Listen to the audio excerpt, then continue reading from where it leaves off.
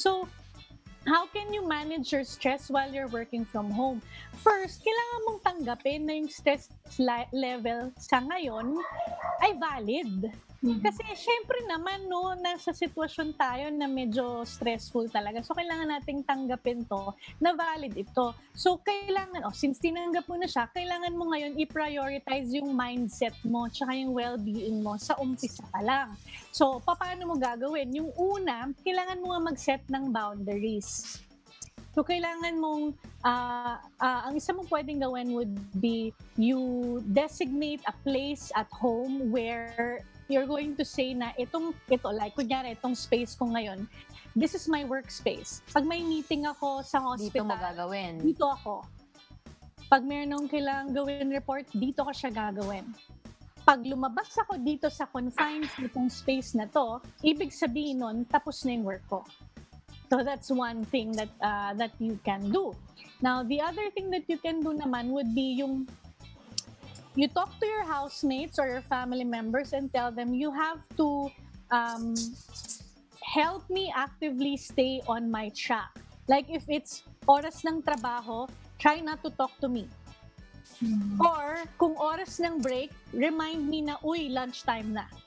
Kasi yun yung nangyayari. Either nahihirapan kang bumalik sa trabaho or nahihirapan kang mag-break.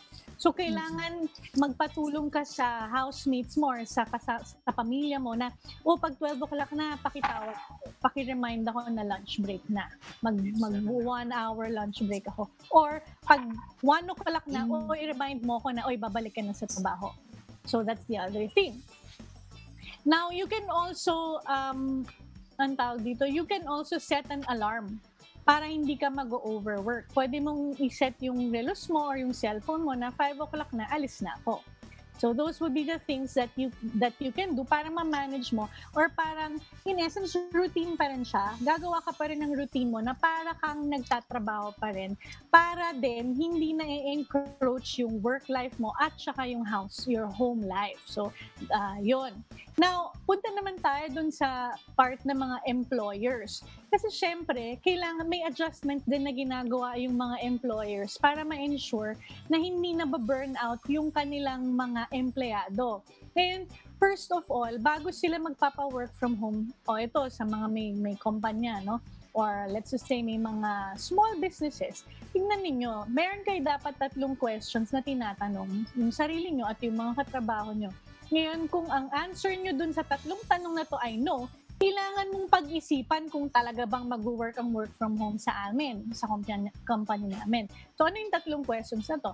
Yung first, do my team work team members have the right physical setup? Anong ibig sabihin nito? Yung equipment ba available sa kanila? Kaya ba nila mag-online communication?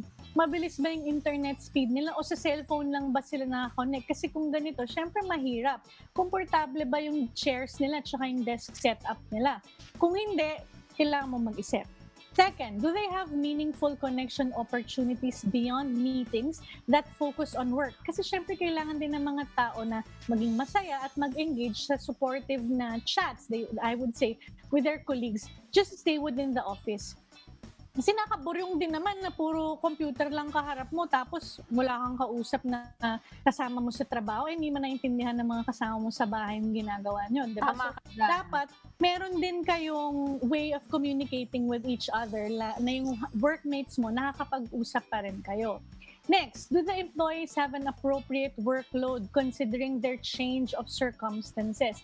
Kasi may mga tao pa rin na nagtatrabaho pa rin sila aside from their homeschooling, yung nagsusuporta sila sa sarili nilang mga uh, pamilya, tsaka yung self-isolation. Now again, if, if the, the answer to any of those questions are no, then the employers must first address those questions before considering work from home.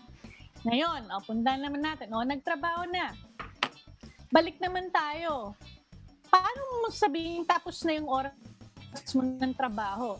Mag-set ka ngayon ng alarm. Kasi nga, para magkaroon ng boundaries, kailangan i-schedule mo yung trabaho mo. Kasi otherwise, pag hindi mo schedule yung trabaho mo, mag-overwork ka. Pwede kang ma-burn out. Okay?